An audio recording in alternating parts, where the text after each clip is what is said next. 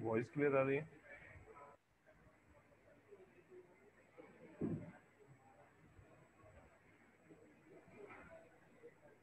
सभी को voice clear आ रही है? यस आ रही है।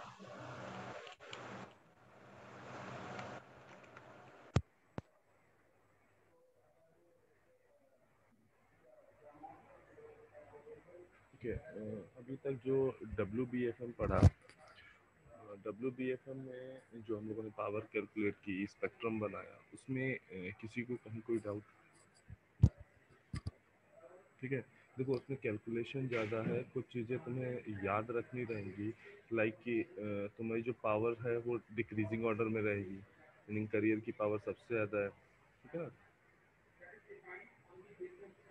करियर की पावर तुम्हारी सबसे ज़्यादा होगी A C J naught beta by sorry carrier की पावर या कहें करियर का जो एम्पलीट्यूड है।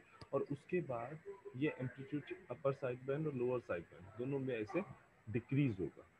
है ना? हमने देखा था कि इम्पल्स सिग्नल जो थे, वो क्या हो रहे थे? डिक्रीज हो रहे थे।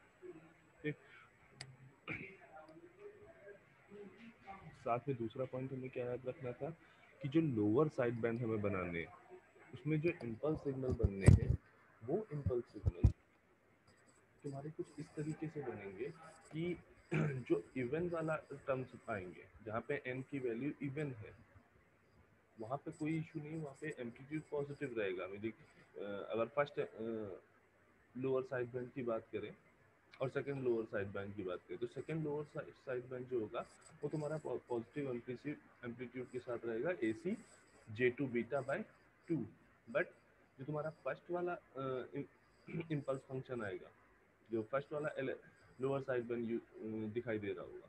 वो तुम्हारा उसका एम्पलीट्यूड क्या होगा? Minus A C J one beta by two और जबकि उसका अपर साइड बैंड जो होगा, उसका amplitude plus A C J one beta by two होगा। तो ये डिफरेंसेस याद रखना। ठीक है? तो टिल नाउ हम लोगों ने वाइट एफ़ के जितने जो भी पैरामीटर्स हो सकते थे जो भी उसकी कैलकुलेशन हो सकती थी, जो भी जनरल एक्सप्रेशन हो सकती थी, वो हमने कंप्लीट किया। नेक्स्ट हमें जो करना है, वो क्या है? Generation of f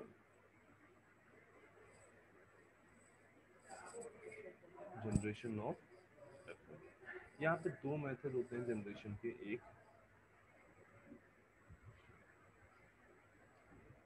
direct method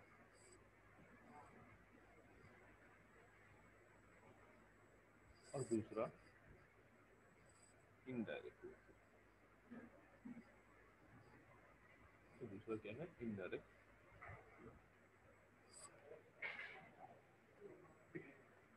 one one दोनों को स्टडी करेंगे, दोनों में क्या क्या ड्रॉबैक्स हैं, वो ड्रॉबैक्स देखेंगे और क्या एडवांटेजेस हैं वो सबसे पहले डायरेक्ट मेथड हम लोग देखते हैं।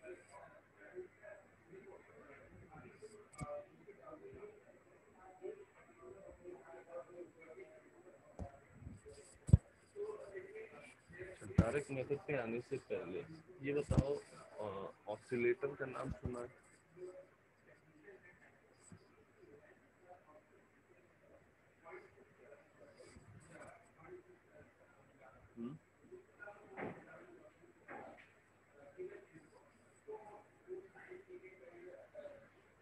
क्या होता है ऑक्सीलेटर